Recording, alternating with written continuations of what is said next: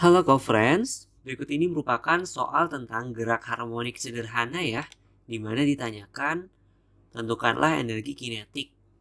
Nah, di mana benda diketahui masanya 100 gram atau langsung saja kita konversi menjadi 0,1 kg. Kemudian amplitudonya sebesar 4 cm atau 0,04 meter ya. Oke, di mana setiap menitnya berarti satu menit adalah 60 second bergetar 60 kali. Dan percepatannya yaitu setengah dari percepatan maksimumnya. Di sini kita bisa menggunakan persamaan pada energi kinetik pada gerak ya. Masih ingat teman-teman? Yaitu setengah mv kuadrat. Nah, kecepatan yang digunakan adalah kecepatan pada gerak harmonik sederhana ya. Yaitu apa? Omega A cos theta di mana kita bisa masukkan saja nih V pada gerak harmonik sederhana yaitu setengah M di dalam kurung omega A cos theta dikuadratin ya. Oke, nah berarti setengah M omega kuadrat amplitudo kuadrat cos kuadrat theta. Di sini M adalah massa, omega adalah kecepatan sudut, dan amplitudo adalah A, sudutnya cos.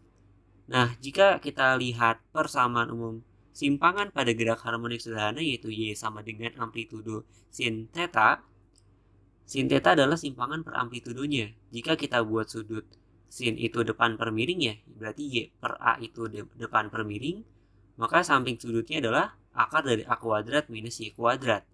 Ini kita bisa hubungkan. Berarti cos theta adalah akar dari A kuadrat minus Y kuadrat per A. Berarti amplitudo dikuadratin, simpangan dikuadratin ya. Diakarin per A. Nah ini adalah cos theta-nya.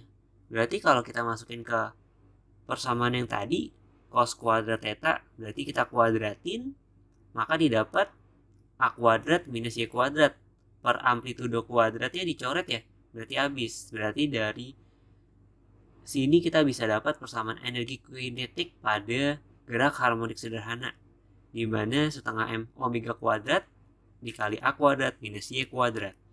M-nya massa, omega-nya kecepatan sudut, A-nya amplitudo, Y-nya simpangan.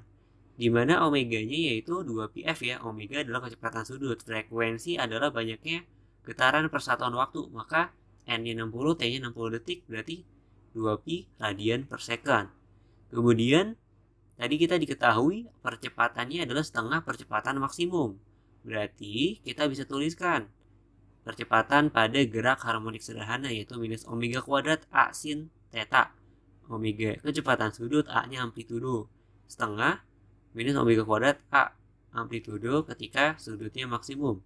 Berarti sin theta-nya adalah setengah ya. Ini kita bisa coret aja. Berarti kita bisa dapat nih simpangannya yaitu pada persamaan umum gerak harmonik sederhana pada simpangan yaitu Y sama dengan amplitudo sin theta. Berarti amplitudonya adalah 0,04, sin theta-nya setengah ya. Berarti 0,02 meter. Oke, berarti energi kinetiknya bisa kita tuliskan kembali persamaan yang tadi sudah kita dapatkan. Berapa tadi? Setengah M omega kuadrat dikali A kuadrat minus Y kuadrat. Oke, berarti kita masukin aja nih informasi yang sudah kita dapatkan sebelumnya. Berarti energi kinetik yaitu setengah dikali masanya 0,01 maaf 0,1 maksudnya. Omeganya 2pi dikuadratin kemudian amplitudenya 0,04 dikuadratin minus 0,02 dikuadratkan. Berarti kalau dikalikan berarti setengah dikali 0,1 2pi dikuadratin jadi 4 pi kuadrat. Kemudian 4 16 dikurang 4 ya 12 ya.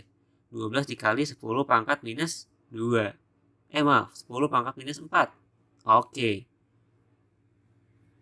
kita tulis 10 pangkat minus 4 ya oke bener berarti EK nya berarti dikalikan jadinya 24 pi kuadrat ya eh sorry 24 ya 12 dibagi 2 dikali 4 24 pi kuadrat dikali 10 pangkat minus 5 Satuannya joule, energi, satuan energi. Maka jawabannya adalah yang A. Oke, sampai bertemu di soal berikutnya.